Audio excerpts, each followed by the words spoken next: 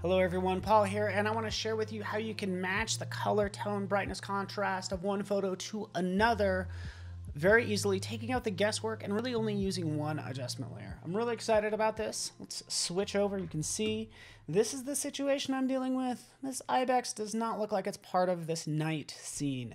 So uh, how do we uh, fix that? Well, it might mean adding a bunch of adjustment layers. I'm only going to use one, so go into curves, select curves, make sure you clip it to just the ibex, clipping mask, select this icon, and then from here, this is where people will kind of get into the whole guessing game part of it. It's like, okay, well, I need to add some blues, you know, uh, I already messed it up, like I'll kind of tweak this all day long, whatever, right?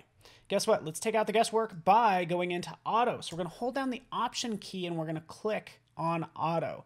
That's going to bring up these auto color correction options. So from here, we can pick our algorithm. Let's go with find dark and light colors.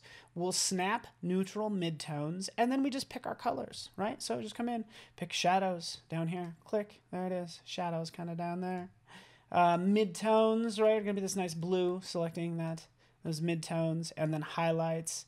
Uh, you can either click or just kind of adjust accordingly. I realize that it kind of does need to be like a little bit brighter, but uh, obviously you can just select directly from the image to get what you need. And feel free to tweak this all you want as I'm kind of adjusting the blues as you can see, um, but I'm using colors from the photo behind it typically. That matches it up quite well. And then from there, guess what? Let's just save it as defaults, right? Because we could use this later on as well. Say, for instance, for all of these uh, star signs that I'm working on, right? So same process. Let's jump in, curves, right in here, clip it to just the line, and then we can hit that auto button, and you can see it did the work for us. So uh, use this. It's going to save you a ton of time and a ton of uh, guesswork. And thanks so much for watching.